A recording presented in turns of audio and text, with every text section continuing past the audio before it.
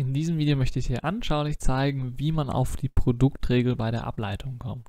Und wir starten direkt und schauen uns erstmal nochmal an, wie man die Ableitung denn sehen kann. Wir brauchen folgende Sichtweise auf die Ableitung, nämlich wenn du hier diese Näherung siehst, dann steht auf der rechten Seite die Veränderung von der Funktion, wenn ich den x-Wert ändere. Also da steht ja x plus h einmal und einmal x. Das heißt, diese Differenz misst genau die Veränderung von meiner Funktion g, wenn ich das Argument x ändere. Und die Ableitung hat folgendes damit zu tun, sie kann diese Veränderung ungefähr messen, nämlich durch Ableitung mal die Veränderung des Arguments, das h. Diese Sichtweise habe ich schon mal in einem anderen Video ausführlicher erklärt. Das habe ich dir oben verlinkt. Da geht es um die Kettenregel, wie man die entdeckt. Und diese Sichtweise, die brauchen wir jetzt eben auch hier, um die Produktregel zu verstehen. Also Veränderung der Funktion ist gegeben durch Ableitung mal Veränderung des Arguments. Für die Produktregel schauen wir uns eine Funktion an, die eben ein Produkt ist aus zwei anderen Funktionen, in dem Fall jetzt u und v. Und damit wir das Ganze ein bisschen besser sehen können, müssen wir uns erstmal überlegen, ja, wie können wir denn ein Produkt visuell darstellen. Und das ist relativ einfach. Man kann ein Produkt sehr gut durch ein Rechteck darstellen bei dem eine Seite eben jetzt u von x ist und eine eben v von x. Dann ist das Produkt von u von x und v von x eben genau die Fläche von diesem Rechteck. Ja? Wenn wir multiplizieren, dann können wir das immer als Fläche ansehen. Aber diese Fläche, die ist jetzt halt variabel, weil wenn wir x verändern, dann ändert sich ja auch u und v und damit dann auch die Seitenlängen des Rechtecks. Das heißt, wir können die Fläche dann damit verändern. Und wir wollen jetzt eben rausfinden, okay, wie ändert sich die Fläche näherungsweise, wenn wir jetzt x verändern.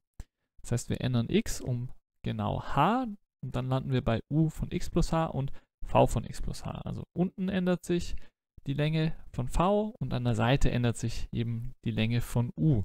Und dann kriegen wir eben ein neues Rechteck.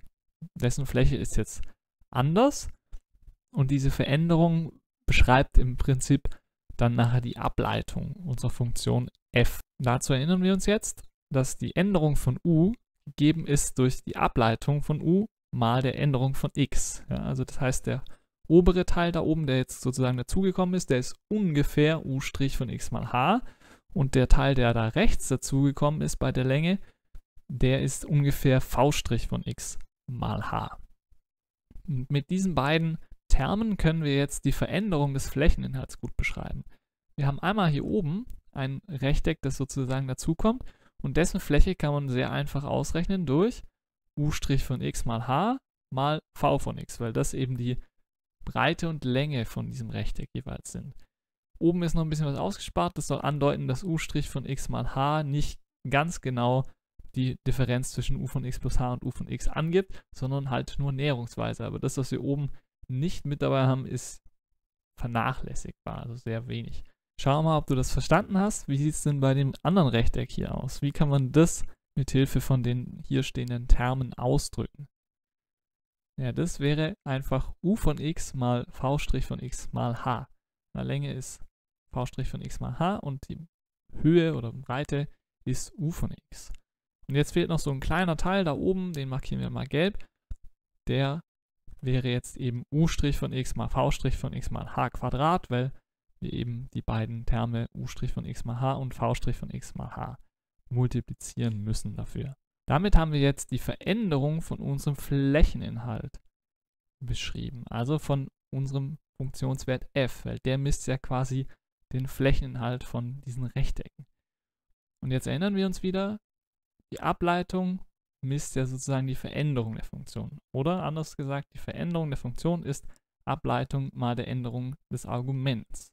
Wenn wir jetzt also uns nur die Veränderungen anschauen, dann sehen wir, können wir sozusagen f von x plus h minus f von x, die Veränderung der Funktion f, folgendermaßen ausdrücken, zumindest näherungsweise, indem wir einfach diese Veränderungen aufsummieren. u' von x mal vx mal h plus u von x mal v' von x mal h plus u' von x mal v' von x mal h Quadrat. Das können wir jetzt noch so umformen, dass wir überall das h ausklammern. Dann erhalten wir folgenden Term. Der sieht so ähnlich aus, nur dass wir jetzt eben das h ausgeklammert haben und in der Klammer steht jetzt noch u' von x mal vx plus u von x mal v' von x plus u' von x mal v' von x mal h. So, und dieser allerletzte Term, der von dem gelben Flächenstück kam, den können wir jetzt noch vernachlässigen, weil wir arbeiten hier immer mit h nahe genug bei 0. Also wenn h sehr nah bei 0 ist, dann ist h einfach eine sehr kleine Zahl. Das heißt, wenn wir nur die Klammer anschauen, dann wird der letzte Teil eben umso kleiner, je kleiner das h wird. Deshalb können wir den sozusagen auch nochmal vernachlässigen und sagen, ungefähr haben wir jetzt, dass die Änderung von der Funktion f gegeben ist durch u' von x mal vx plus ux mal v' von x und das Ganze mal h.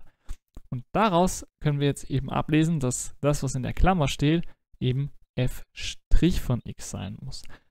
Ganz einfach, weil die Änderung der Funktion muss ja näherungsweise die Ableitung mal der Veränderung von x sein. Und nichts anderes steht ja hier.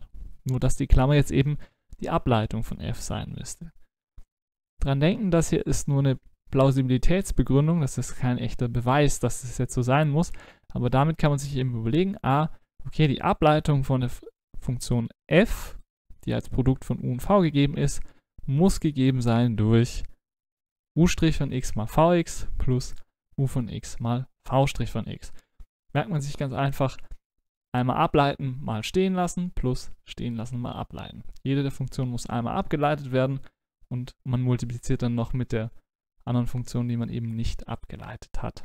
Wenn du jetzt noch Videos suchst, in denen dir gezeigt wird, wie du diese Ableitungsregeln anwenden kannst, um bestimmte Funktionen abzuleiten, dann empfehle ich dir meine Playlist Grundlagen der Differentialrechnung. Da erkläre ich dir sowohl, wie du die Ableitungsregeln anwendest, als auch wie du sie entdecken kannst.